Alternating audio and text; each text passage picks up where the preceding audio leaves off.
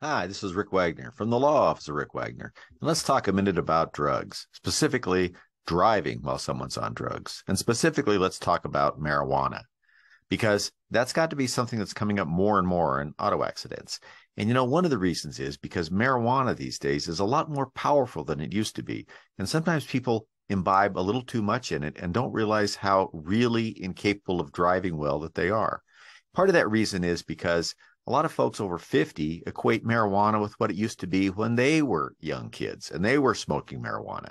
That's because the THC content at that time, into the 90s, early 90s, was about 3 to 5%. Now, THC, that's tetrahydrocannabinol for you chemists out there, is what makes all those uh, Pink Floyd albums so interesting and so forth.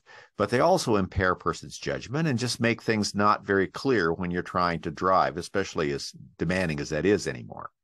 And now, because of the concentration of THC in the new products, the new cannabis products out there, uh, they can be up to 40 or 50% THC, nine or 10 times stronger than what people are familiar with in the early 90s.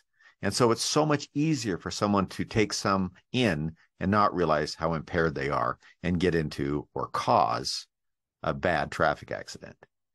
First of all, if you're involved in an accident and you suspect someone has been smoking cannabis, and that was part of the accident's problem, you need to make sure you inform law enforcement of that right away. If you're someone who's thinking of driving when you've been imbibing on a lot of cannabis, don't do it.